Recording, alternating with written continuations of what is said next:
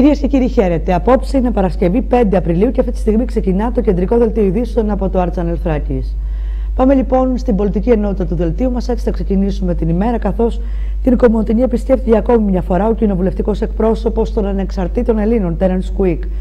Είχε κατά σειρά συναντήσει με παραγωγικούς φορείς της περιοχής, με τον Σεβασμιότατο Μητροπολίτη μας, Μαρονίας και Κομωτινής, κύριο κύριο Παντελεήμονα, και με τον Σοφολογιότατο Μουφτή μας, με τον Τζεμαλή, συζητώντας για φλέγοντα ζητήματα της περιοχής.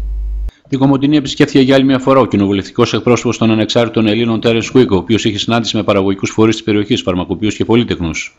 Το ότι κάναμε την περασμένη Κυριακή το προσυνεδριακό εδώ στην Κομωτινή δεν σημαίνει ότι καταβάσαμε και τις μπάρες στην περιοχή. Απέναντίας όπως έχουμε αποδείξει οι, οι δράσεις μας στην περιοχή της Θράκης και με τον βουλευτή τον Μαρίνο Ζουνίδη στον Εύρο αλλά έχοντας και εγώ το κομμάτι το πάρα πολύ σοβαρό του προξενείου και όχι μόνον α, μας ε, φέρνει ξανά σε μια εβδομάδα πίσω στην περιοχή γιατί είχα πει στην ομιλία μου ότι το προξενείο θα βρεθεί προεκπλήξεων. σκοπεύουμε να τους κόψουμε τα πόδια και να σταματήσουν να δρουν κατά αντεθνικό τρόπο. Δεν θα σας πω πώς και το γιατί και πότε θα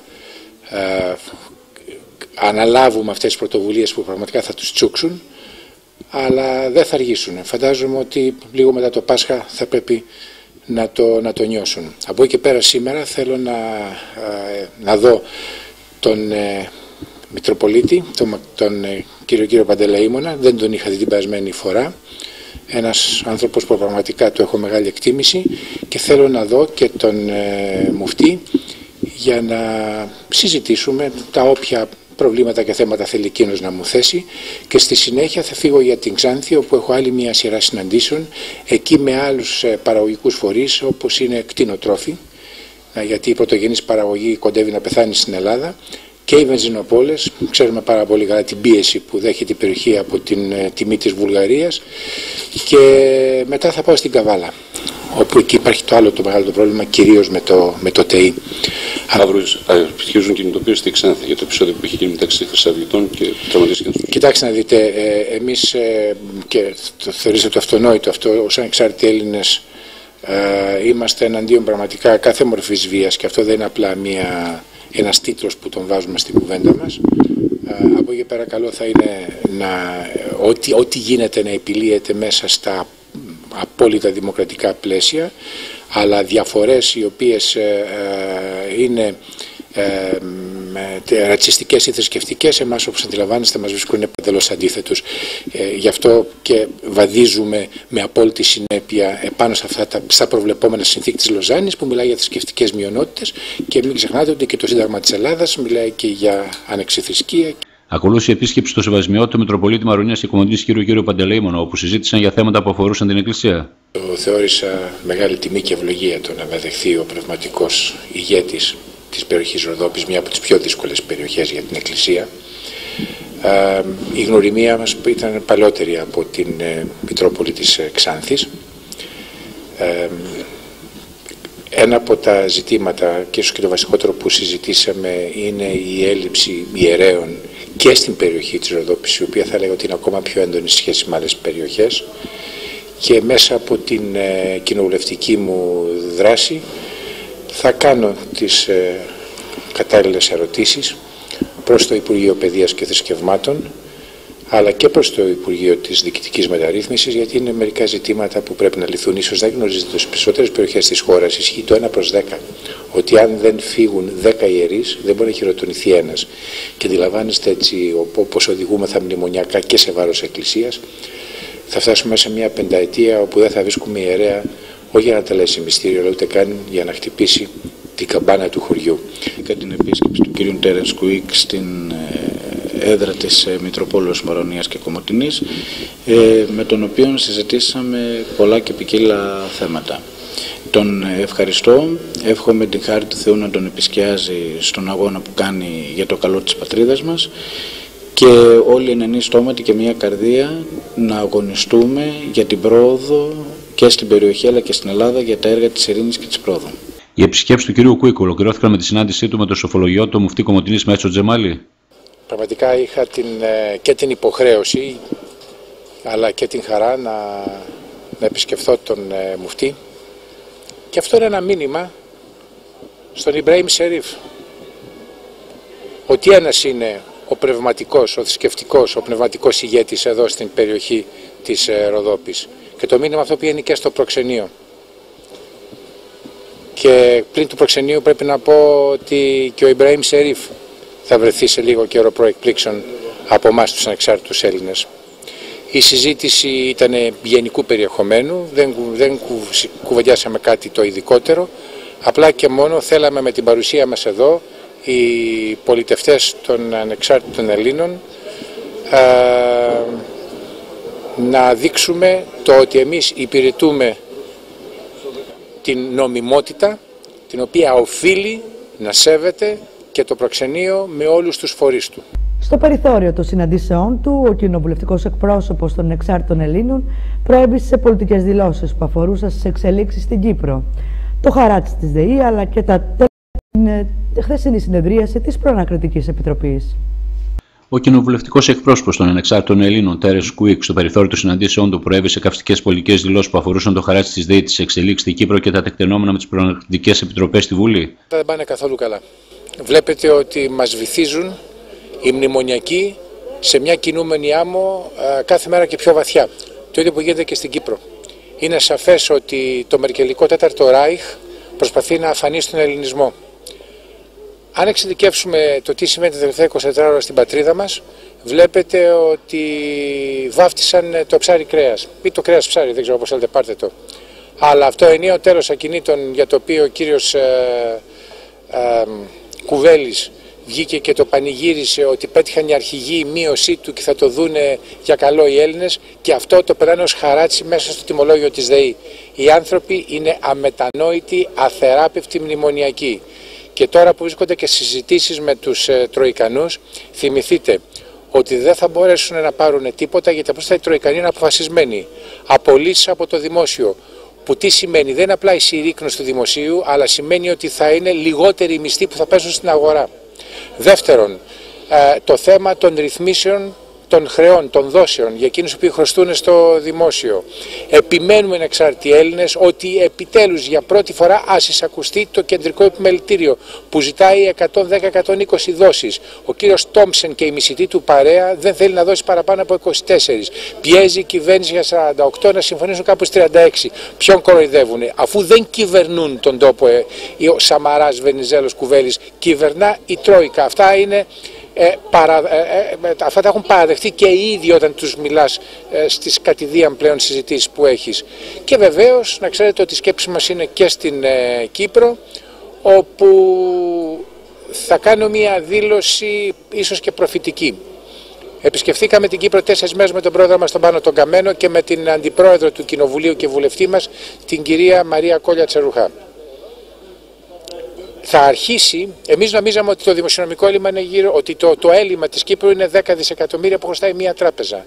Θυμηθείτε, θα αρχίσουν να βγάζουν οι μνημονιακοί της Κύπρου ένα-ένα τα χρέη πάνω στο τραπέζι. Μην εκπλαγείτε αν φτάσουμε στα 35 δισεκατομμύρια στην Κύπρο, δηλαδή 225% επί του ΑΕΠ τους, που είναι κολοσιαίο ποσό για την Κυπριακή Δημοκρατία των 600.000 ανθρώπων.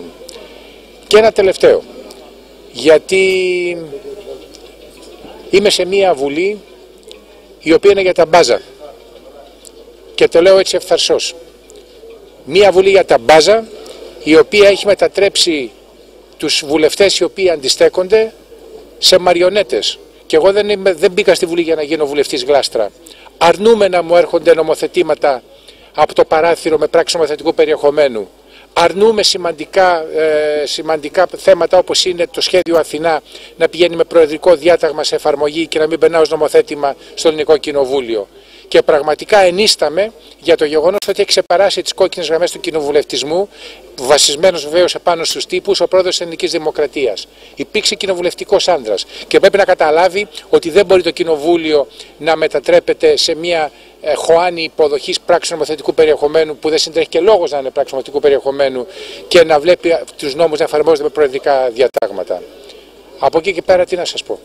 Χρειάζεται πραγματικά μια ριζική, όπως λέμε εμείς οι ανεξάρτητοι Έλληνες, ε, αλλαγή και στο Σύνταγμα. Υπενθυμίζω άρθρο 84 το οποίο παρέχει αφιδός ασυλίας στους ε, βουλευτές και στους πολιτικούς γιατί ποιοι είμαστε εμείς. Ποιοι είμαστε εμείς. Εμείς πρέπει να είμαστε σαν τον κάθε πολίτη ο οποίος δικάζεται για το κακούργημά του, για το έγκλημά του στο φυσικό δικαστή. Έτσι πρέπει να πηγαίνουν και οι βουλευτές και οι υπουργοί. Και βεβαίως και αλλαγή των κανονισμών της Βουλής. Ο κ. Σκούικα αναφέρθηκε και στο θέμα των εκλογών. Εμείς λέμε εδώ και τώρα να φύγει αυτή η κυβέρνηση. Εδώ και τώρα. Όσο νωρίτερα φύγουν, τόσες λιγότερες αυτοκτονίες θα έχουμε. Τόσο λιγότερους έγκλησους στις φυλακές επιχειρηματίες. Σε αυτό είμαστε κατηγορηματικοί. Αλλά βλέπετε όμως ότι είναι τόσο γλυκιά η καρδιά της εξουσίας ώστε είναι γαντζωμένη επάνω. Θα προσπαθήσουμε με την πρωτοβουλία που έχουμε αναλάβει για τη δημιουργία του πατριωτικού δημοκρατικού τόξου να, τους, ε, να, να μας αδειάσουν τη γωνιά όσο γίνεται νωρίτερα. Το άπιστο κέρδος είναι η νέα ταινία του Γιάννη Καρυπίδη, η οποία θα προβληθεί αύριο στις 7 το απόγευμα στο Μέγαρο Μουσικής Κομωτινής. Είναι μια ωραία στιγμή για όλους όσους ε, όλα αυτά τα χρόνια δίνουν μια μάχη γύρω από το θέμα ε, του Χρυσού στην περιοχή μας. Ε, φιλοξενούμε λοιπόν για αυτό το λόγο και καλησπερίζουμε ευθύς αμέσως στο κεντρικό δελτίο ειδήσεων του Αρτζάν Θράκης, τον σκηνοθέτη, τον κύριο Καρυπίδη, αλλά και τον μουσικό, τον Χρήστο Χατζόπουλο, που έντισε με το στίχο και αυτής της ε, εξαιρετικής, κατά την άποψή μου, προσπάθειας. Καλησπέρα και στους δύο. Καλησπέρα Γιάννη, καλησπέρα Χρήστο. Καλησπέρα για μένα. Καλησπέρα. Ε, θα ήθελα κύριε Καρυπίδη, ας γυρίσουμε στους τύπους, να ξεκινήσουμε την κουβέντα α, από εσάς. Νομίζω ότι κατά καιρούς στα κεντρικά δελτία ειδήσεων είχαμε τη δυνατότητα να φιλοξενούμε κομμάτια αυτής της ε, ταινίας.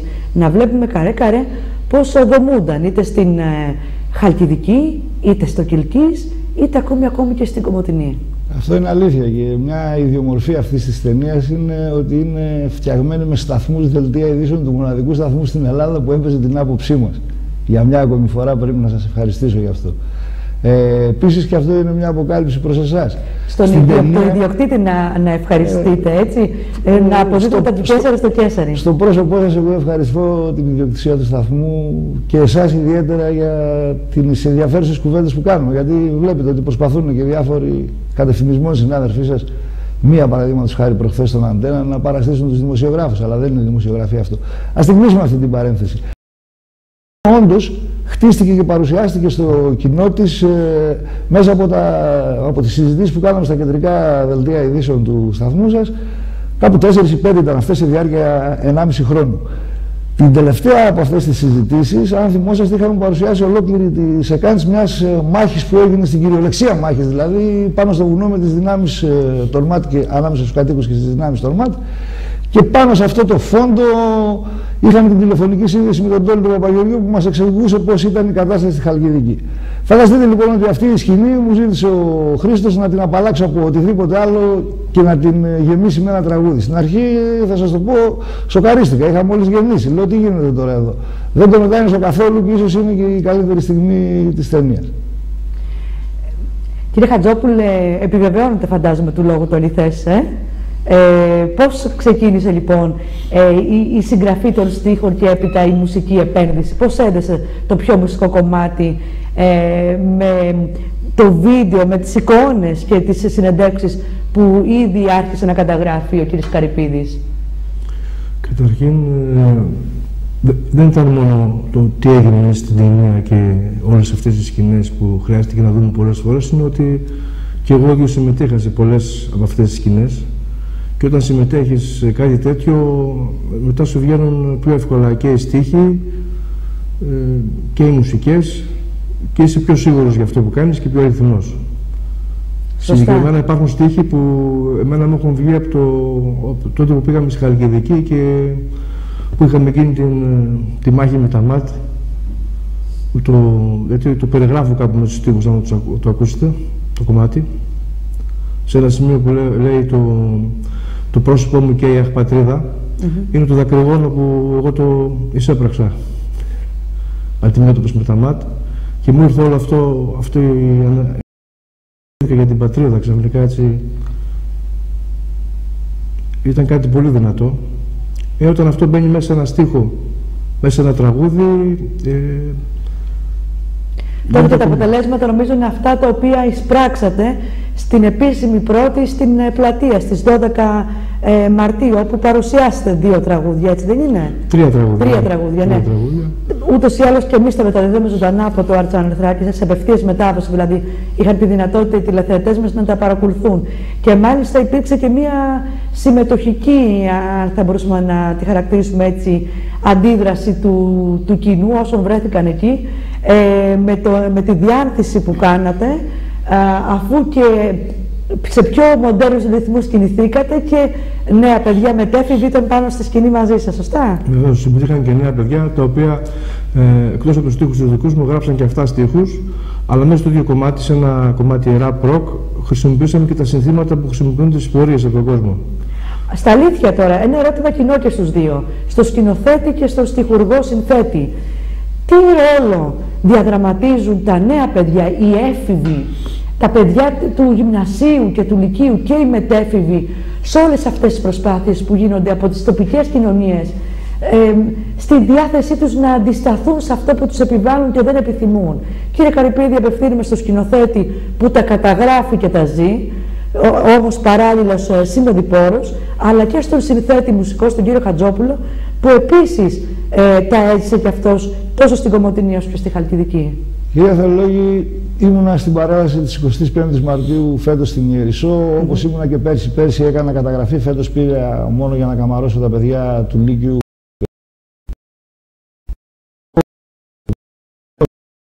χειροκροτούσε, ήταν όλα με μαύρο περιβραχιόνιο, με μπλουζάκια κατά της εταιρείας κτλ. Εκεί δεν χρειαζόταν να υπάρχει αστυνομική δύναμη για να ξεχωρίσει αυτούς που παρελάβουν τον κόσμο και τους άρχοντες. Οι τοπικοί άρχοντες, ο κύριος Πάχτας δηλαδή, απλώς δεν ήταν εκεί. Ήταν όλος ο κόσμος και μπροστάριδες είναι στον αγώνα, δηλαδή δίνουν τη φλόγα αυτά τα παιδιά και αυτό που οπλίζει με τρομερή δύναμη τις γιαγιάδες τους είναι ακριβώς το πάθος και το μέλλον αυτών των παιδιών. Γιατί στην Ιερισσό πρωτοστατούν και οι 15χρονε κοπέλες, αλλά και κάτι κοπελάρες 85χρονε που αν τις είδατε στο YouTube Μάλιστα. Κύριε Χατζόπουλε, τι θα λέγατε για, τα, για τη συμμετοχή των παιδιών; Η συμμετοχή των παιδιών, εγώ επειδή ζω κάθε μέρα τα παιδιά από κοντά και στο ναι, μουσικό είναι, σχολείο. Είναι πραγματικά. Και στις σχολέ και στα εργαστήρια. Έχει ιδιαίτερη σημασία και η άποψή σας. Ναι, ε, βλέπω ότι τα παιδιά ξέρουν πολύ καλά τι γίνεται. Ε, συμμετέχουν. Το είδαμε και. Πάρα πολύ ενεργά, γράφουν στίχους, γράφουν πανό. Ε, ε, συγγνώμη, μουσικές, τραγούδια ε, και οι ίδιοι θέλουν να συμμετέχουν. Είδατε ακόμα τα χειροδονίσματα, ακόμα τα παιδιά την 1η Μαρτίου. Ναι. Ε, το εισέπραξαν και συμμετείχαν σε, αυτό και σε οτιδήποτε άλλο. Κάνουμε τώρα με το σχολείο κάποια προγράμματα ε, περιβαλλοντικά. Θα συνεχίσουμε με αυτό. Τα παιδιά λοιπόν είναι πρωτοπόροι σε αυτό και συνεχιστές και κάπου και εμάς μας ε, ξεκουράζει αυτό και μας αρέσει όταν το βλέπουμε, όταν τα καταλαβαίνουμε. Εμείς είμαστε σίγουροι ότι στην παρούσα φάση θα τους ξαναπετάξουμε στη θάλασσα. Αλλά όπως έχουμε πει και από την πρώτη συζήτηση που κάναμε πέρυσι, ο πόλεμος είναι εκατονταετής, έχουν περάσει μόνο 13 χρόνια. Αυτή η γενιά ετοιμάζεται για να πάρει τη σκητάλη και θα είναι αυτή που στην επόμενη δεκαετία που θα μας ξανάρθουν δυστυχώς θα πρέπει να τους αντιμετωπίσει. Και είναι πολύ σημαντικό, επαναλαμβάνω και σε αυτό το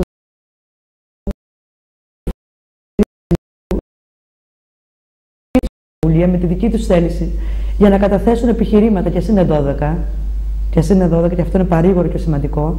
Όπως επίσης είναι παρήγορο και το γεγονός και πολύ σημαντικό ότι και η Εκκλησία πρωτοστατευτεί σε αυτόν εδώ τον αγώνα των κατοίκων ε, για μένα πάντα ε, ε, έχουν σημασία τα λόγια των ανθρώπων που ηγούνται ε, και δεν θα ξεχάσω την τελευταία συνέντευξη με αφορμή το γεγονός του Σεβασμιωτάτου Μητροπολίτη μας, που ερωτηθείς είπε ότι δεν επιθυμούμε να αποφασίζουν άλλοι για μας χωρίς εμάς. Είναι σημαντικό, είναι πάρα πολύ σημαντικό. Είναι το μότο μας και βλέπουμε ότι ακόμη να σε αυτή την, ε, την θέση ε, τον στερνίζεται και προσπαθεί. Είναι μαζί με την κοινωνία. Ξαναπάω στο ερώτημα. Και έτσι κάπως θα κλείσουμε το πρώτο μέρος μας, το πρώτο μέρος της κουβέντας μας γιατί το άπλιστον κέρδος έπρεπε να πάει στο Μέγαρο Μουσικής; Μήπως τελικά... Ε, γιατί, ναι, χωρίς άλλο ερώτημα. Θα σας πω, θα σας πω.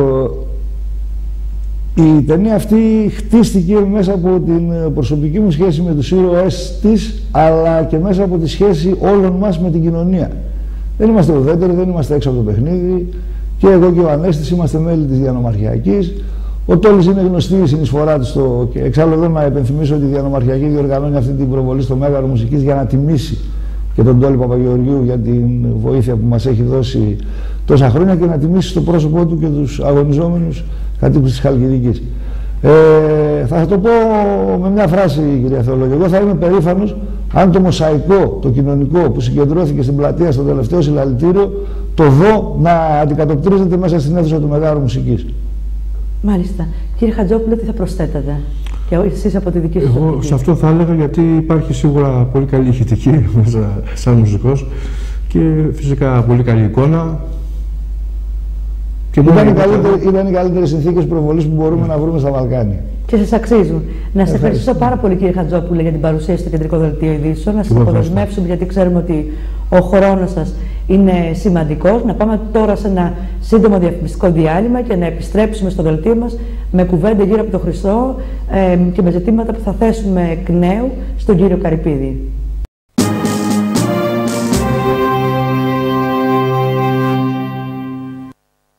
Αρτοσκευάσματα Λεχούδι Νεοκλή. Ψωμί όλων των τύπων. Χωριάτικες πίτες μοναδικές. Τούρτες. Σιροπιαστά. Κρουαζάν. Αγίου Γεωργίου 5. Λεωφόρο Ηρών 38. Και Ορφαίο 32. Και τώρα νέο κατάστημα και στην Ξάνθη. Αρτοσκευάσματα Λεχούδι Νεοκλή. Εσείς γνωρίζετε τα ελαστικά λάσα. Η 25χρονη παρουσία τους στην ελληνική αγορά αποδεικνύει την αξιοπιστία τους στις καλύτερες τιμές χοντρικής και λιανικής για όλους τους τύπους των οχημάτων. Για όλους τους τύπους των οχημάτων. Εμπιστευτείτε μία από τις μεγαλύτερες εταιρείες ελαστικών παγκοσμίως στον αποκλειστικό αντιπρόσωπο της περιοχής μας Ελαστικά Λάσα. Λάσα. Ποιότητα και αξιοπιστία στις καλύτερες τιμές της αγοράς. Και τώρα, μπαταρίες Hugel όλων των τύπων. Εργομπετών Θράκης. Ξεχωρίζουμε για την υψηλή ποιότητα των κατασκευών. Πάντα με συνέπεια και αξιοπιστία. Εργομπετών. Έτοιμο σκυρόδεμα από 55 ευρώ το κυβικό. Κυβόληθη από 6 ευρώ το τετραγωνικό μέτρο. Τσιμεντοσολίνες από 5,5 ευρώ το μέτρο. Κράσπεδα από 2 ευρώ το μέτρο. Επίσης προϊόντα τσιμέντου, τσιμεντότουβλα, τεχνικά έργα. Και τώρα πρωτοποριακή κυσιρόληθη νησίρου από ελαφρόπετρα. Με αιμονή στην ποιότητα. Αποτελεί την απόλυτα εξειδικευμένη εταιρεία στις κατασκευές υψηλών προδιαγραφών. Εργομπετών Θράκης, στο 4ο χιλιόμετρο Κομωτινής Ξάνθης. Πρωτοπορία στη σύγχρονη δόμηση.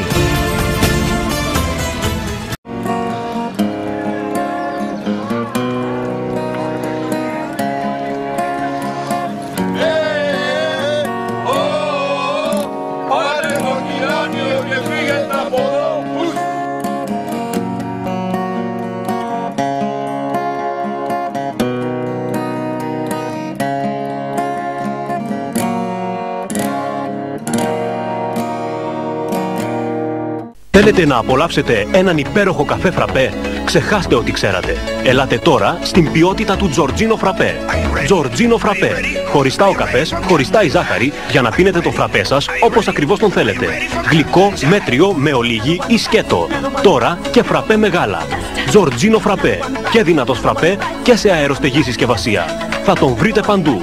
Τζορτζίνο φραπέ. Αν μιλάμε για φραπέ. Για παραγγελίες, τηλεφωνήστε στο 25310 33 193.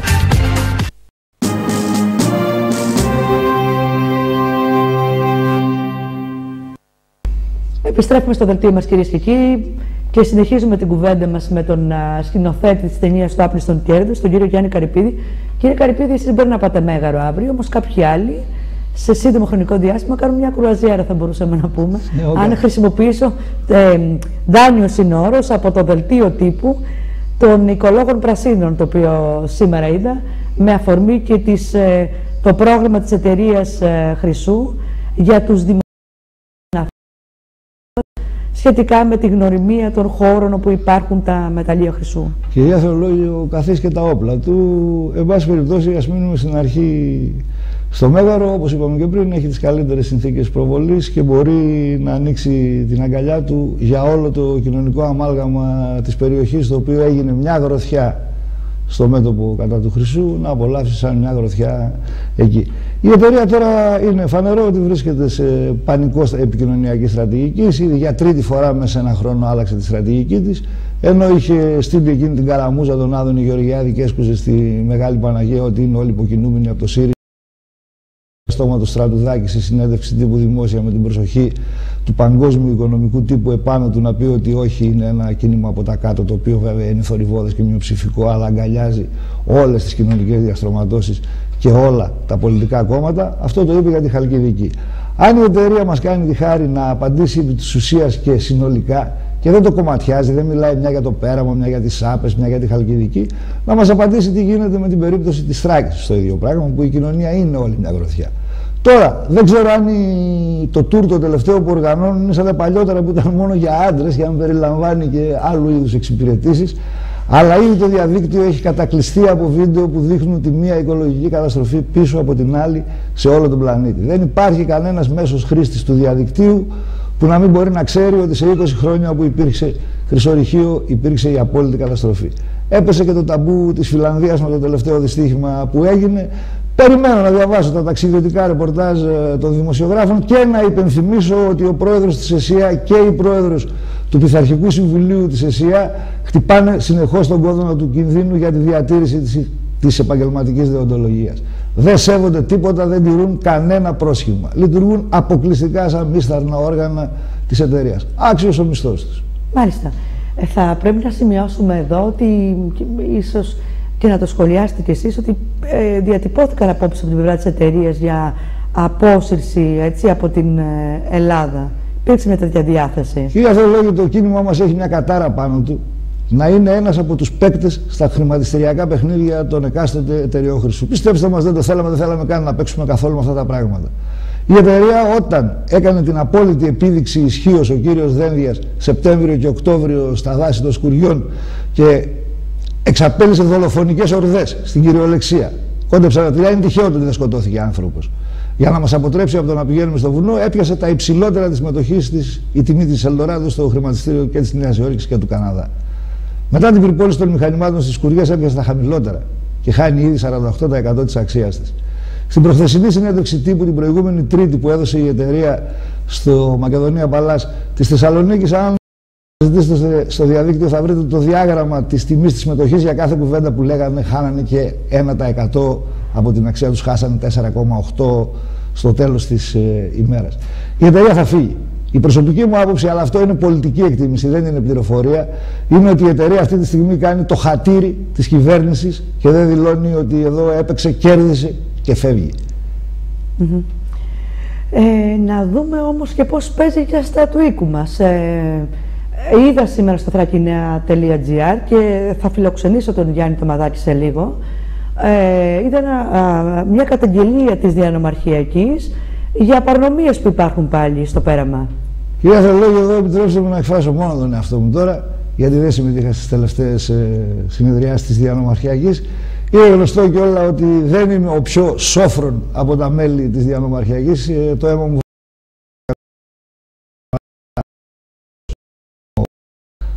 πιο δυναμικές καταστάσεις, α το λέγαμε έτσι. Νομίζω ότι ήρθε η ώρα να εξαντληθεί η ευγένεια των θρακών που μας διακρίνει. Ο κύριος Μαρκόπουλος μας προσβάλλει καθημερινά και ασύστολα. Δηλαδή τον έχω παρακολουθήσει και στο συνέδριο για τη μεταλλουργία το διεθνές που έγινε στην Αθήνα και στις τελευταίες ενημερώσεις που γίνανε στη Θεσσαλονίκη. Είναι ο μόνος από τους ανθρώπους της εταιρείας που είναι προκλητικότατος. Δηλώνει ότι μας έχει γραμμένους όλους εδώ στα παλιά του τα παπούτσια. Δηλώνει ότι ήρθε να κάνει δουλειές στην περιοχή μας στο όνομα του κουβέρνου και όχι το δικό μας και δεν τον ενδιαφέρει τι λέμε εμείς οι δουλοπάργοι και δηλώνει σίγουρος ότι εντάξει μωρέ μια φασαριούλα από το Στυλιανίδη έγινε σε κάνα δύο-τρεις μήνες θα αρχίσουμε να σκάβουμε. Λοιπόν κύριε Μαρκόπουλο πάρτε το απόφαση πρέπει να φύγετε. Αν δεν το καταλαβαίνετε μόνοι σας ίσως ήρθε η ώρα να σας το δείξουμε εμείς με λίγο πιο δυναμικό τρόπο από ότι να καταγγέλουμε το ότι κόβεται 10 καραγάτσια. Ξέρω ανθρώπους στην περιοχή που για ένα δέντρο τραβήχτηκαν στα δικαστήρια, εξόδεψαν περιουσίες και πάρα λίγο να βρεθούν και φυλακοί. Ένας ταλαιπωρήθηκε τρία χρόνια για ένα καραγάτσι. Εσείς κάνετε ανεξέλεγκτα εκεί ό,τι θέλετε. Εντάξει, υπάρχουν οι μηνύσεις, υπάρχουν και άλλοι τρόποι. Βέβαια, αυτό δεν είναι πολλές φορές παρήγορο, δηλαδή το να σκεφτόμαστε ότι μπορεί να φτάσουμε στα άκρα προκειμένου να διεκδικήσουμε το, το δίκαιο. Νομίζω ότι δεν, είναι καμή, δεν αποτελεί καθόλου πρόφεση αυτή το, αυτό το στοιχείο, αυτή η δράση. Νομίζω ότι είναι δικιά μου. Νομίζω ότι ταινίες μου θέλω να κάνω. Αλλά έχει αρχίσει και παραγίνεται το κακό. Το λέτε αυτό, ε, κύριε Καρυπίδη, με αφορμή τα τελευταία τεκτενόμενα στις σκουριέ. Ε, το λέω με αφορμή το ότι κόβουν δέντρα ασύστολα, ανοίγουν δρόμους, κάνουν γεωτρήσεις παραπέρα από εκεί που έχουν πάρει άδειες. Το λέω επίσης επειδή παίζουν με τις ζωές των ανθρώπων, το δείξανε στις άπες. Τάισανε με όνειρα ανθρώπους ότι θα έχουν ψωμί. Έκλεισε τελικά, ε, απολύθηκαν άνθρωποι στις άπες. Οι πρώτες πληροφορίες που έχω είναι αυτές. Αλλά, εν πάση περιπτώσει, και αν δεν απολύθηκαν, που δεν νομίζω ότι ισχύει αυτό, δεν το ξέρω δηλαδή, είναι εμφανής ο εκβιασμός. Mm -hmm. Δεν είσαι εργαζόμενος πια, είσαι δούλο όμοιρος της εταιρείας. Είναι σαν αυτούς που βάζανε οι Γερμανοί και τους δέρανε μπροστά στα βαγόνια για να μην τους ανατινάξουν οι αντάρτες, ας πούμε. Ένα τέτοιο πράγμα είναι. Τώρα, ε, σε αυτόν εδώ τον αγώνα διαδραματίζουν πάρα πολύ μεγάλο ρόλο και οι κυβερνητικές αποφάσεις. Είδαμε πριν από περίπου ένα-ενάμιση μήνα ότι υπήρχε διάθεση από την κυβέρνηση από την, ε, και από τις τρεις συνιστώσεις, δηλαδή και από τα τρία κόμματα που τις συναποτελούν, προφανώς να δοθεί ένα πράσινο φως στο ζήτημα του Χρυσού, ίσως εντασσόμενο και αυτό στην ενότητα της ανάπτυξης. Διαβλέπετε ότι μετά τις τελευταίες αντιδράσεις και επαναλαμβάνω τα εκτενόμενα ε, στις σκουριές υπάρχει και η αντίστοιχη πολιτική αναδίπλωση; Κοιτάξτε, ο κύριος Σαμαράς έχουν περάσει αρκετές μέρες που είχε πει ότι σε 10 μέρες η εταιρεία σκάβει στο πέραμα. Ε, τώρα δεν ξέρω, δεν θέλω να μιλήσω εγώ για το πολιτικό σύστημα, είναι πλήρως αναξιόπιστη. Είναι πλήρως αναξιόπιστη. Τι να μας πει Ω προς το σκέλος της κινητικότητας, ε, ε, δεν θα και όχι ε, αναζητώντας τις πολιτικές σας. Αυτό μπορώ να το πω εκ μέρους όλης της Διανομαρχιακή. Αποκλείεται να καθοριστεί η στρατηγική μας από τις διαθέσεις του κουβέρνου. Mm -hmm. Όχι. Την τύχη μας την έχουμε πάρει στα χέρια μας όσον αφορά αυτό το θέμα. Εμείς δεν κάνουμε ούτε επίδειξη δύναμης ούτε πολιτικές καριέρες. Χτίζουμε αυτό, είναι σε όλους γνωστό. Ε, επιδιώξαμε, επιδιώξαμε, ματώσαμε γι' αυτό να είναι όλη η κοινωνία μια γροθιά. Δεν νομίζω ότι υπάρχει και ο κακεντρεχέστερος των συμπολιτών μας, των συμπατριωτών μας εδώ από τους τηλεθεατές μας, που να μπορεί να ισχυριστεί ότι δεν υπήρχε όλη η κοινωνία της Κομωτινής. Δεν εννοώ αριθμητικά, ποιοτικά εννοώ. Όλη η κοινωνία της Κομωτινής, σαν μια γροθιά, στο τελευταίο συλλαλητήριο. Λοιπόν, αν αυτόν τον κόσμο συνεχίζουν να τον προσβάλλουν, κάποιοι από αυτόν τον κόσμο έχουν τη δύναμη να βγουν μπροστά και να Μάλιστα, θα ήθελα να σας ευχαριστήσω πολύ για αυτή μας την κουβέντα. Να ευχηθώ καλή επιτυχία για αύριο. Εμείς θα είμαστε εκεί και νομίζω ότι είμαστε σε θέση να ανακοινώσουμε, θέλετε να ανακοινώσετε και στους τηλεθεατές και τα περαιτέρω. Ε, Βεβαίως, καταρχήν να υπενθυμίσουμε ότι εγώ, εγώ προσωπικά θα χαρώ πολύ να σας δω. Όλοι δεν θα χωράμε μέσα, αλλά θα χαρώ όποιους από εσάς δω στο μέγαρο της μουσικής αύριο στις 7 η ώρα στην προβολή της ταινίας Αύριο στον Κέρδος. Και μπορούμε να ανακοινώσουμε εδώ, όπως είπαμε και πριν, ε, κυρία Θεολόγη, αυτή η ταινία χτίστηκε και μέσα από τις συνεντεύξεις μας, ότι ο σταθμός σας είναι ο σταθμός που θα κάνει την πανελλαδική πρώτη προβολή ταινία τηλεοπτικά. Γιατί ήδη μας το ζητάνε από το σύνολο σχεδόν των επαρχιακών σταθμών. Δεν νομίζω ότι θα μπορέσει κάποιο κεντρικό κανάλι να έχει το θάρρος να παίξει αυτή την ταινία. Αυτή η ταινία υπάρχει στη δημοσιότητα μόνο χάρη στο θάρρος του καλλιτεχνικού φεστιβάλ ντοκιμαντέρ Θεσσαλονίκης του κυρίου AP. Μάλιστα. Σας ευχαριστώ πάρα πολύ για απόψε. Να είστε καλά. Καλή επιτυχία και πάλι. Και εγώ ευχαριστώ πολύ. Με 14 θέματα στην ημερήσια διάταξή του, συνεδρία στο Δημοτικό Συμβούλιο στην αίθουσα του Πολυλειτουργικού Κέντρου. Το ζήτημα που ξεχώρισαν η έγκριση κανονισμού λειτουργίας των δημοτικών κημητηρίων.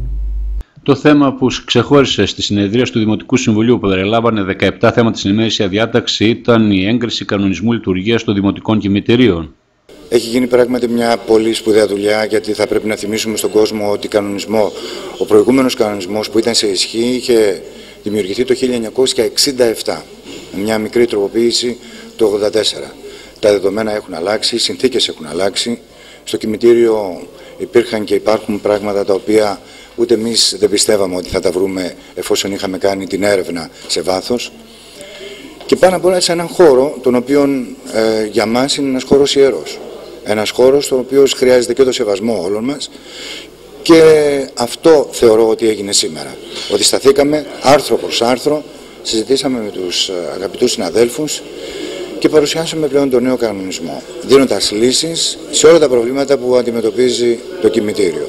Ο κ. Κυπριανίδη αναφέρθηκε και σε πύργους υπαλλήλους και πλαστά πιστοποιητικά τα παλαιότερα έτη.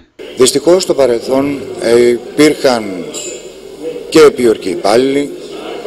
Υπήρξαν τέτοια φαινόμενα και πλαστά ε, ε, πλαστούς τίτλους έχουμε βρει και δεν είναι λίγοι οι πλαστοί τίτλοι. Ε, καινοί τάφοι οι οποίοι δεν έχουν ε, ε, και δεν γνωρίζουμε σε ποιους ανήκουν. Όλα αυτά λοιπόν ρυθμίζονται με τον νέο κανονισμό.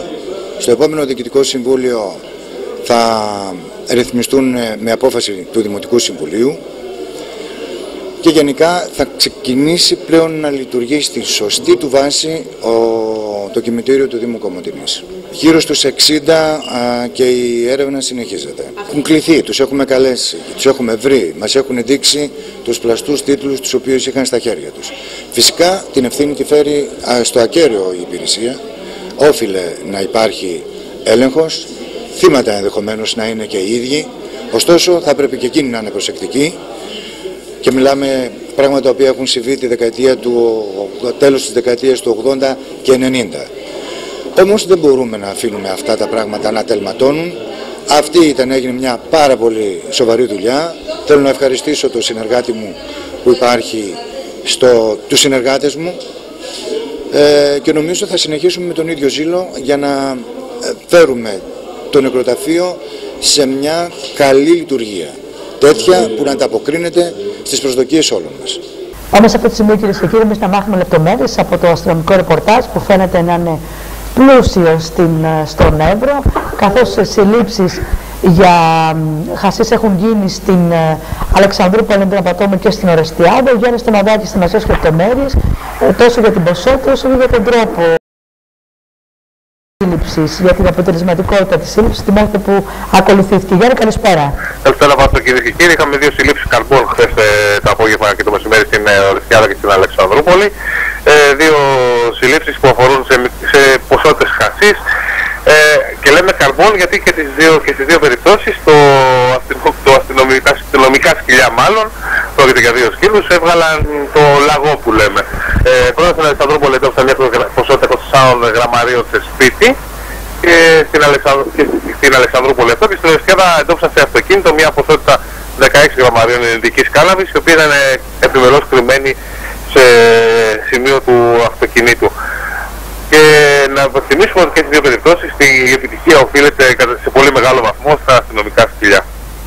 Μάλιστα, είναι πολύ ενδιαφέρον και αυτό.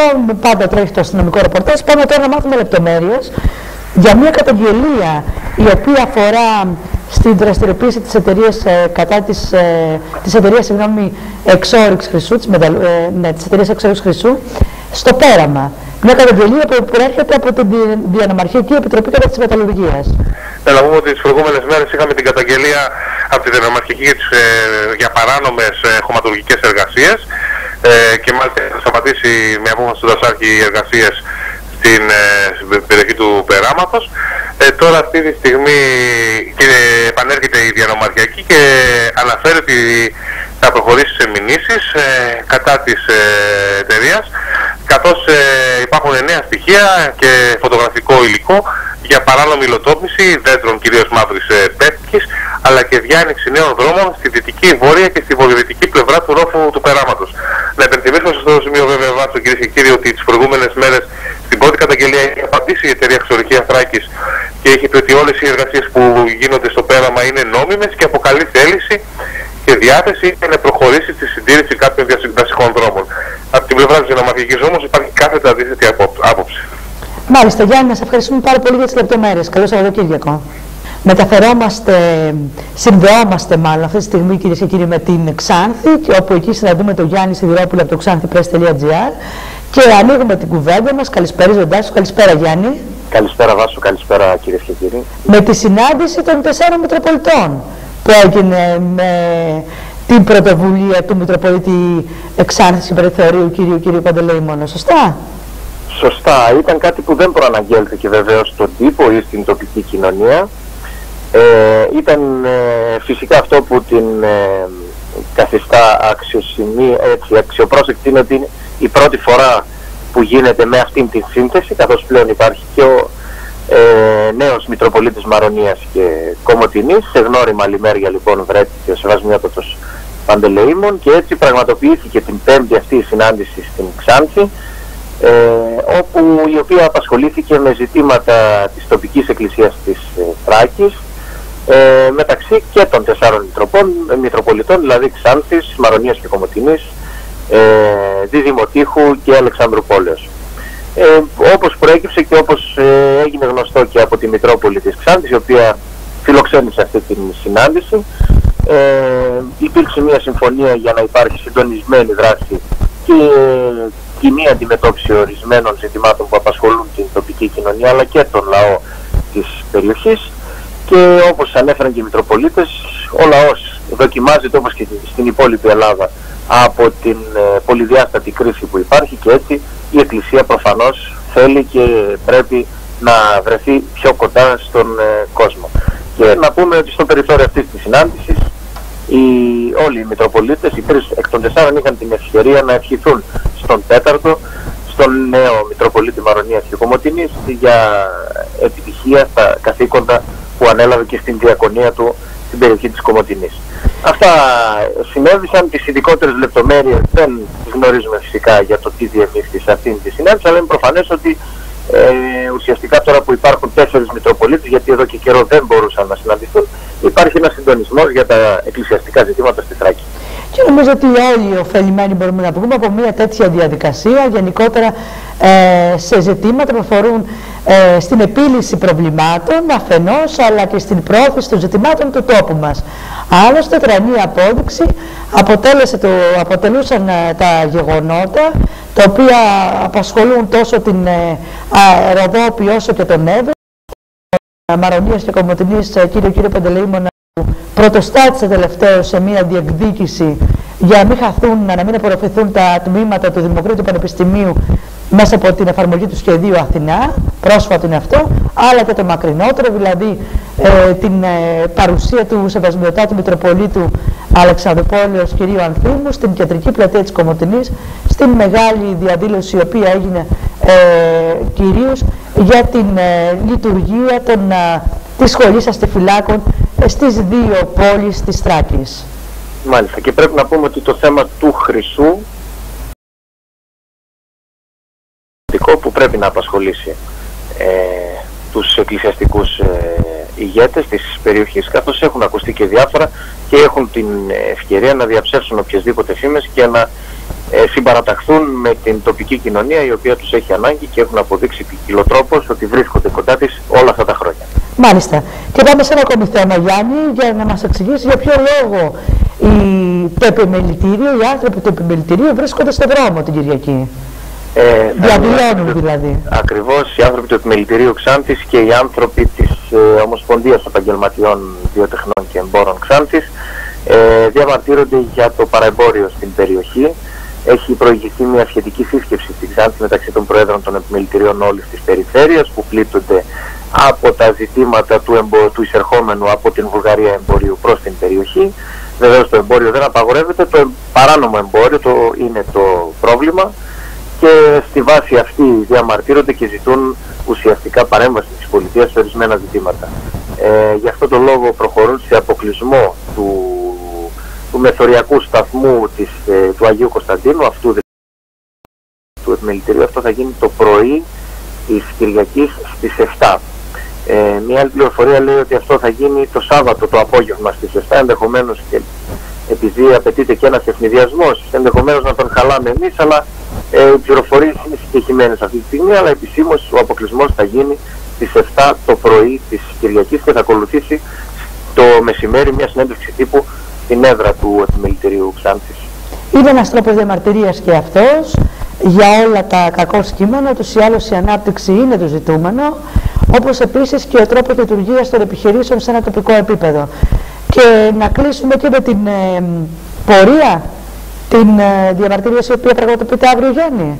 Η αντιρατσιστική πορεία ξεκινάει στη μία μετά το μεσημέρι από την κεντρική πλατεία της Ξάνθης. Ε, σήμερα όλοι οι εκπρόσωποι, οι εκπρόσωποι όλων των φορέων που στηρίζουν αυτήν την πρωτοβουλία, κυρίως τα αρκετά κόμματα και κάποιοι συνδικαλιστικοί φορείς, συναντήθηκαν στην κεντρική πλατεία και κάναν μια κοινή παρουσία και εξόρμηση στην κεντρική αγορά, μια ενωτική κίνηση ουσιαστικά, για να δείξουν την ομόθυμη στάση τους απέναντι στο πρόβλημα του ρατσισμού και την ε, βούλησή τους να έχει όσο το δυνατόν καλύτερη συμμετοχή αυτή η κινητοποίηση και έτσι μοίρασαν φυλάδια στα κεντρικά καταστήματα, ε, μοίρασαν φυλάδια στον ε, κόσμο και κάποια flyer και γενικότερα είδαν μια παρουσία ε, προετοιμασίας και υπόμνησης ότι όσοι σκέφτονται ε, την Ξάνθη της επόμενης μέρας με ίχνος έστω ρατσισμού, όπως είπε ο κύριος Γούνας, μίλησε εκ μέρους τους, ε, θα τους βρουν ενωμένους και απέναντι.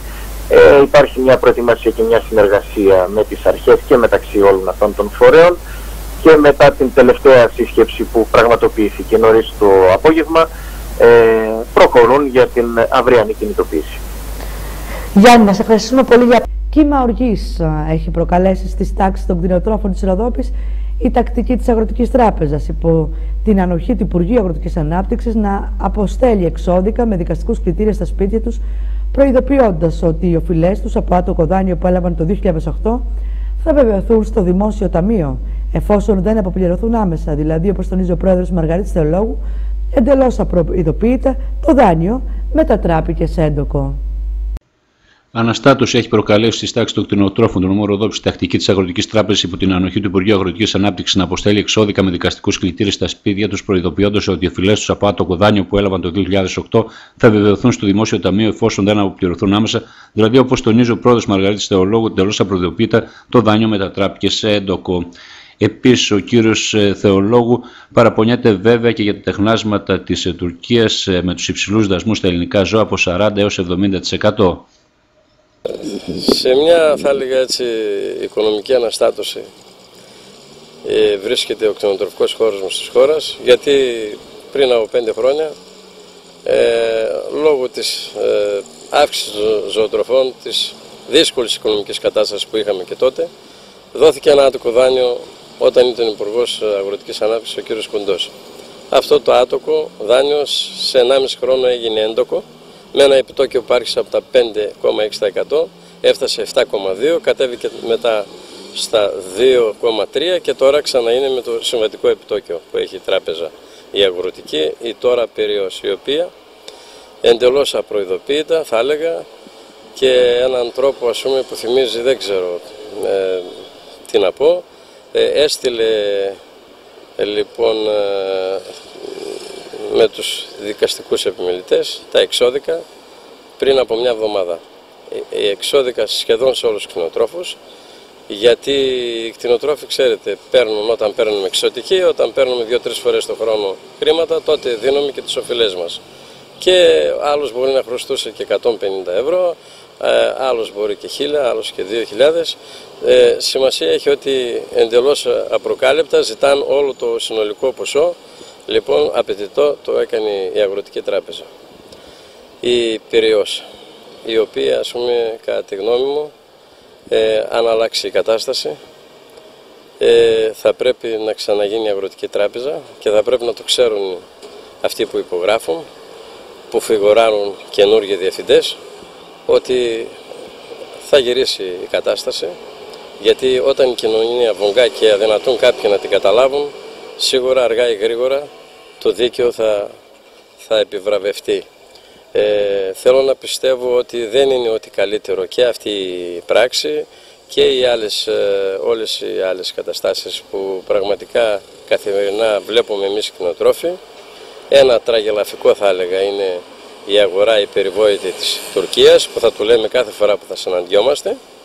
Εμείς περιμέναμε ε, να ανοίξει και άνοιξε λένε, αλλά οι δασμοί ουσιαστικά που έχουν επιβληθεί από το τουρκικό κράτος καθιστούν αυτή την αγορά ας πούμε, ε, όχι, όχι σοβαρή. Δηλαδή υπάρχουν μεγάλοι δασμοί, οπότε δένουν χειροπέδαρα τους εμπόρους από την Τουρκία, δεν τους συμφέρει δηλαδή να έρθουν να πάρουν τα ζώα, ενώ πριν από ένα χρόνο μας έλεγαν ότι θέλουμε εργαστηριακές εξετάσεις και ένα σωρό άλλα πράγματα. Γίνονται για να γίνονται εισαγωγές. Ε, ε, όλα γίνονται ε, για να γίνονται ε, ε, εισαγωγές, θα έλεγα από άλλες χώρες από πλευράς Τουρκίας, Όλα γίνονται γιατί το ελληνικό κράτος ε, κοιμάται, ε, είναι διαπλεκόμενο με άλλα συμφέροντα. Δεν μπορώ να, να πω.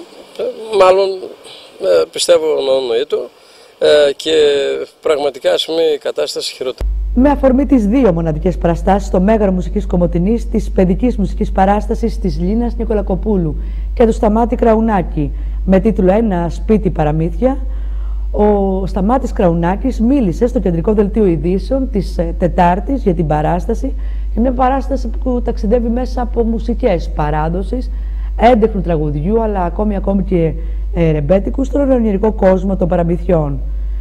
Αυτή η μουσική, μεταξύ άλλων αλλά και η σκηνική παρουσία, βοηθά τα παιδιά να κατανοήσουν καλύτερα τα νοήματα της ζωής μέσα από λόγια, χρώματα και συνειδηπόρο πάνω απ' όλα τη μουσική. Ας δούμε λοιπόν ότι σε αυτό το σημείο του δήλωνε ο κύριος Κραουνάκης δύο ημέρες πριν στο κεντρικό δελτίο ειδήσεων.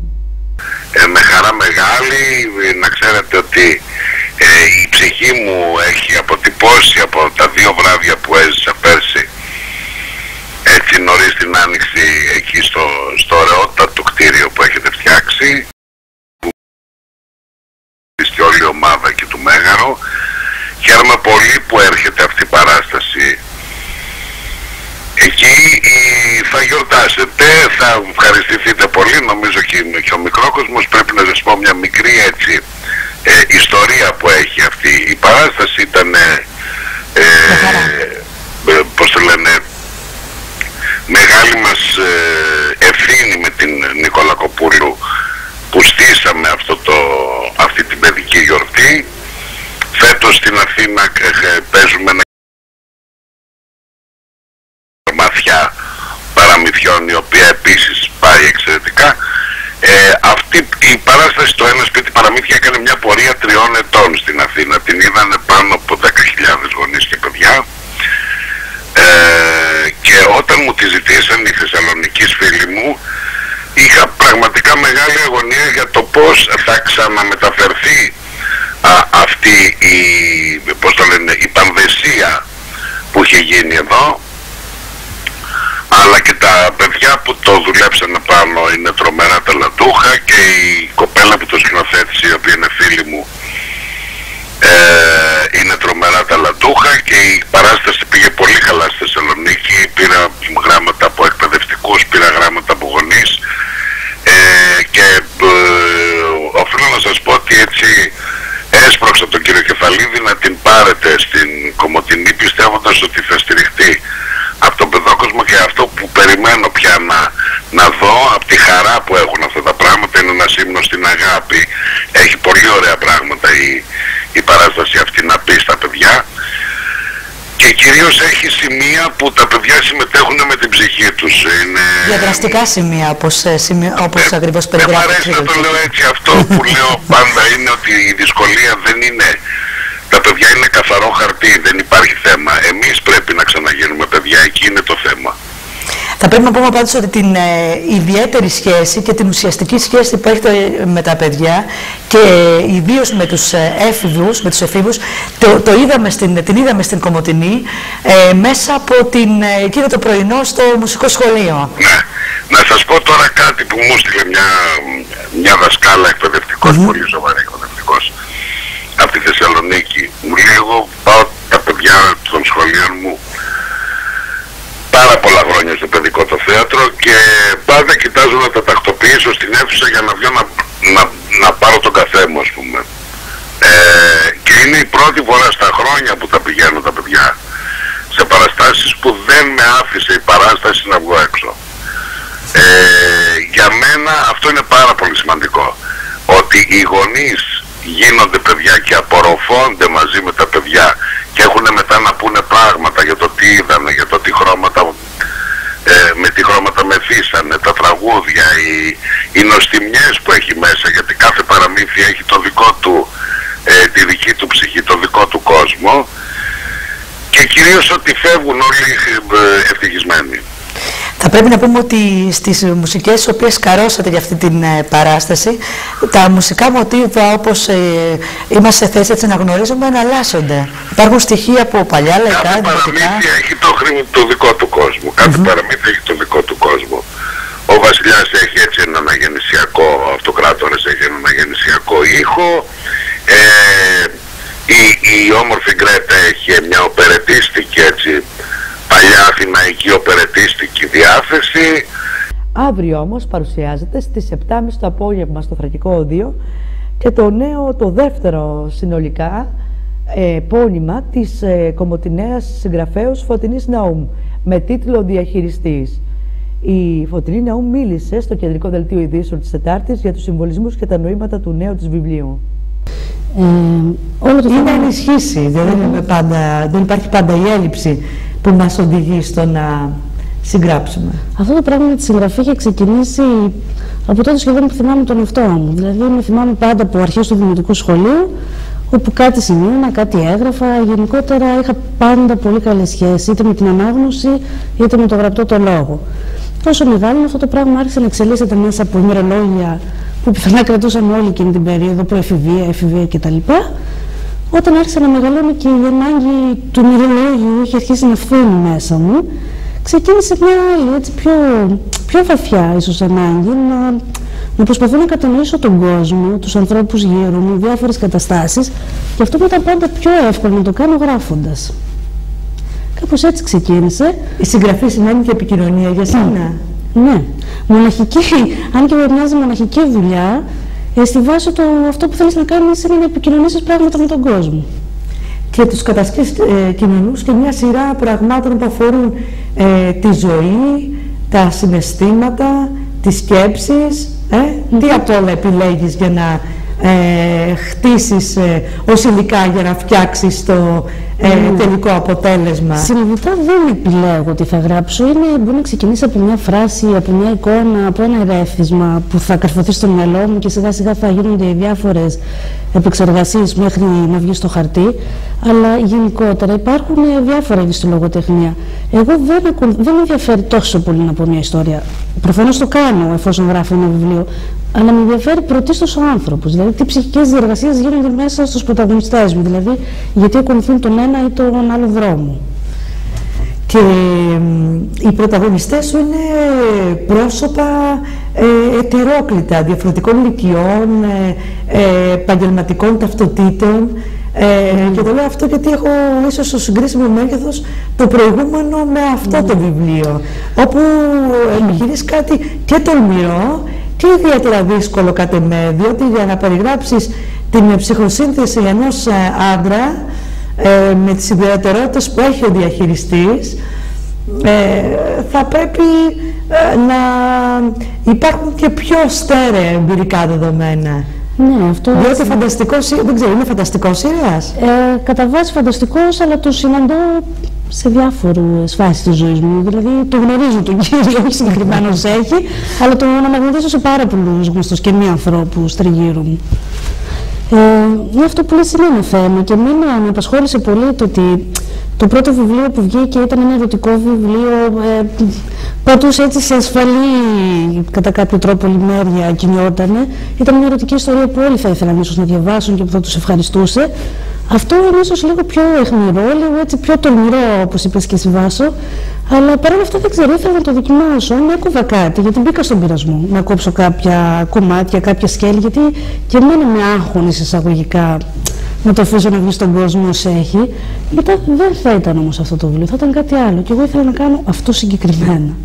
Ε, διαβάζοντας έτσι στο τελευταίο, στο επιμήθειο του βιβλίου σου, ε, τις ευχαριστίες, ε, παρατηρώ, παρατήρησα ε, κάτι το οποίο σίγουρα θα σημειώσουν και οι αναγνώστες του, ότι είχες δηλαδή ε, αμφιβολίες για το ε, ή τουλάχιστον υπήρχαν άνθρωποι που βοήθησαν να φωτίσεις ένα κομμάτι προσωπικής συγγραφής που κρατούσες αυστηρά για προσωπική χρήση μέχρι τότε. Ναι. Ε; Έχει μερικά χρόνια που έχω κάνει μια κάποια μικρή στροφή από τον λυρισμό που το χρησιμοποιούσα πάρα πολύ, όπως και στο πρώτο μου βιβλίο, που μου εξακολουθεί και μου αρέσει. Άρχισα και γίνομαι φαν του βρώμικου ρεαλισμού. Και να αρχίσει και να έχει μια ανάγκη έτσι μιας πιο πραγματικότητας.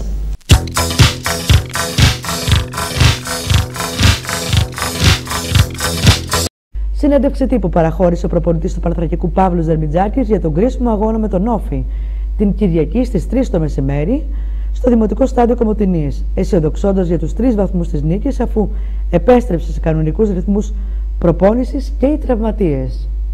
Στη συνέντευξη τύπου που παραχώρησε ο προπονητής του Παθραγικού Παύλος Δερμιτζάκης, ξεκίνησε με συλληπιτήρια για το θάνατο του Προέδρου του Πανσεραϊκού Πέτρου Θεοδωρίδη Απολύμωξου του Αναπνευστικού. Ξεκινώντας, ε, θέλω να εκφράσουμε σαν Παθραγικός αλλά και εγώ προσωπικά εφόσον ε, μιλάω σε εσάς εδώ μπροστά σε κάμερες τα συλληπιτήρια για το θάνατο του Προέδρου του Πασεραϊκού κ. Θεοδωρίδη ε, σίγουρα είναι μια μεγάλη απώλεια για τον αθλητισμό γιατί υπήρξε πάρα πολλά χρόνια παράγοντας και εγώ προσωπικά δεν είχα την χαρά να συνεργαστώ μαζί του, αλλά είχα την τιμή να το γνωρίσω και σαν ποδοσφαιριστής όταν αγωνιζόμουν, αλλά και σαν προπονητής. Πραγματικά ο χώρος του αθλητισμού έχασε έναν μεγάλο παράγοντα, έναν άνθρωπο ο οποίος θα έλεγα ότι από την μεριά του πρόσφερε τα μέγιστα να είναι ελαφρύ το χώμα που το σκεπάζει και συλληπιτήρια στην οικογένειά του. Ο κ. Δερμετζάκη τόνισε τη χρησιμότητα του Κυριακάτικου αγώνα με τον Όφη στο Δημοτικό Στάδιο Κομωτίνη, όπου οι τρεις βαθμοί ήταν και είναι ο στόχος. Ο στόχος μας θα ήταν και είναι οι τρεις βαθμοί που θα μας δώσουν μεγάλη ανάσα για τη συνέχεια του πρωταθλήματος των αγωνιστικών που έχουν μείνει για το στόχο τον οποίο έχουμε που είναι η παραμονή στην κατηγορία και σίγουρα κοιτάζοντας και τα παιχνίδια που έχουν οι ομάδες οι οποίες ε, είναι στην ίδια κατάσταση με εμάς. Όφη είναι μια καλή ομάδα, μια ομάδα η οποία τουλάχιστον έχει δείξει τα τελευταία παιχνίδια ότι είναι πάρα πολύ συγκεντρωμένη και ξέρουν να, να αγωνίζονται και να παίρνουν το βαθμό ή τους βαθμούς που θέλουν και μιλάω για τα παιχνίδια εκτός έδρας όπως ε, με την Βέρεια και το Λεβαδιακό που απέσπασαν δύο ισόπαλα αποτελέσματα και τη μεγάλη νίκη που κάναν στην έδρα τους με τα Γιάννενα που τους έδωσε τη δυνατότητα να, είναι, ε, να έχουν κάποια άνεση ε, από πλευράς βαθμολογίας αλλά σίγουρα σε καμιά περίπτωση δεν είναι αδιάφοροι βαθμολογικά. Σίγουρα μπορεί να, μην, να έρχεται με κάποιες ελλείψεις αλλά αυτό εμένα προσωπικά δεν μου λέει τίποτα γιατί απέναντίας θέλω να πω ότι και εμείς σαν ομάδα με ελλείψεις κάναμε τα καλύτερα μας παιχνίδια εκτός έδρας και αυτό είναι λογικό γιατί όλα τα παιδιά θέλουν να παίξουν και πραγματικά να δείξουν αυτό που αξίζουν. Γι' αυτό θέλει πάρα πολύ υπομονή και επιμονή στο παιχνίδι δηλαδή οι προϋποθέσεις που ε, έχουμε θέσει και θέτουμε πάντα για μια τέτοια αναμέτρηση ιδιαίτερα αναμετρήσεις που είναι παιχνίδια προς το τέλος. Άρα καταλαβαίνετε ότι οποιαδήποτε απώλεια ε, θα δημιουργηθεί μεγάλο πρόβλημα. Θέλει υπομονή και επιμονή. Θέλει πάρα πολύ μεγάλη συγκέντρωση και προσήλωση στην, ε, στο πλάνο που θα ακολουθήσουμε σαν ομάδα. Και φυσικά καθαρό μυαλό ανεξαρτήτου πώς θα είναι το αποτέλεσμα να μπορέσουμε να διαχειριστούμε από το πρώτο μέχρι το τέλος του παιχνιδιού με τέτοιο τρόπο αγωνιστικά για να μπορέσουμε να πετύχουμε την νίκη που όλοι πραγματικά θέλουμε. Είμαστε πάρα πολύ αισιόδοξοι και η αισιοδοξία μας πηγάζει γιατί τα παιδιά είναι σε πολύ καλή αγωνιστική κατάσταση και ψυχολογική και προετοιμαζόμαστε κατάλληλα για αυτό το μάτς το οποίο καταλαβαίνουμε όλοι πόσο κρίσιμο είναι. Φυσικά σε αυτά τα παιχνίδια δεν μετράνε τα πρόσωπα αλλά η ομάδα. Γι' αυτό όλοι μαζί πρέπει να προσπαθήσουμε ώστε πραγματικά τα επόμενα παιχνίδια να μαζέψουμε τους βαθμούς που χρειάζεται η ομάδα για να μπορέσουμε να πετύχουμε το στόχο μας. Σε αυτό φυσικά μεγάλο ρόλο θα παίξει και ο κόσμος που πραγματικά έχουμε μεγάλη ανάγκη την παρουσία του κόσμου γιατί μπορεί να παίξει το 12ο παίχτη και ιδιαίτερα τώρα το έχουμε πάρα πολύ μεγάλη ανάγκη. Από πλευράς τραυματισμών είμαστε σε ευχάριστη θέση ε, να έχουμε το μεγαλύτερο ποσοστό παιχτών ε, έτοιμους, ετοιμοπόλεμους για να προσφέρουν το 100% άρα ε, το έργο μας γίνεται ακόμα καλύτερο πλην του Κοντοβουλίδη, ο οποίος θέλω να σας ενημερώσω ότι σήμερα το μεσημέρι ε, χειρίστηκε στην Αθήνα και όλα πήγανε ε, καλά και το ευχόμαστε και ταχεία ανάρρωση και γρήγορα κοντά μας. Ο κ. Δερμιτζάκης τόνισε ότι θα βρει τρόπους για να τονώσει την ψυχολογία των παιχτών, αφού η ομάδα για έξι αγώνες δεν έχει πετύχει γκολ. Ναι, σίγουρα ε, υπάρχει ένας προβληματισμός σε αυτό το κομμάτι, γιατί δεν πάβει να είναι ένα στοιχείο σοβαρό. Ιδιαίτερα τώρα που η ομάδα θέλει νίκες, άρα οι νίκες για να τις πετύχουμε χρειάζονται γκολ. Ε, προσπαθούμε μέσα τις προπονήσεις, μέσα από ε, συγκεκριμένα ασκησιολόγια, ε, να μπορέσουμε να τονώσουμε και την ψυχολογία τους αλλά να τους ε, δώσουμε τη δυνατότητα σε, με πιο εύκολες διαδικασίες να είμαστε ε, με καλύτερες προϋποθέσεις κοντά στην αιστεία για γκολ. το ευχάριστο όμως από όλη αυτή την υπόθεση που σίγουρα είναι ένα πρόβλημα είναι το ότι η ομάδα δημιουργεί ευκαιρίες. Δηλαδή μεγαλύτερος πονοκέφαλος θα ήταν αν η ομάδα δεν έφτανε στην αιστεία. Η ομάδα φτάνει όμως και φτάνει με με πολύ καλές αξιώσεις αλλά σίγουρα είναι κάτι το οποίο εύχομαι και πιστεύω να το λύσουμε αρχής γενομένης στο παιχνίδι με τον Όφη και η ομάδα κάπου να, να ξεσπάσει. Σίγουρα δεν είναι εύκολο, αλλά νομίζω ότι έχουμε τις προϋποθέσεις, έχουμε τους παίχτες για να το, να το πετύχουμε. Εφόσον ο στόχος είναι η νίκη και εφόσον ξέρουμε ποιος είναι ο Όφη, είπα ότι είναι παιχνίδι υπομονής και επιμονής. Δεν θέλει ε, ούτε άγχος, δεν θέλει ούτε πίεση, Απέναντίας θέλει ηρεμία και όχι ηρεμία μόνο εξωαγωνιστική, αλλά ηρεμία και αγωνιστική. Θεωρώ ότι η ομάδα, αν πιάσει την απόδοση την οποία έχει πιάσει τα περισσότερα παιχνίδια, έχουμε την ποιότητα και την ικανότητα να μπορέσουμε να πετύχουμε την νίκη. Με αυτή την είδηση, κυρίες και κύριοι, ολοκληρώνεται για απόψε το κεντρικό δελτίο ειδήσεων από το Arts Channel Ευχαριστούμε για την προσοχή σας. Καλό βράδυ σε όλους και καλό Σαββατοκύριακο.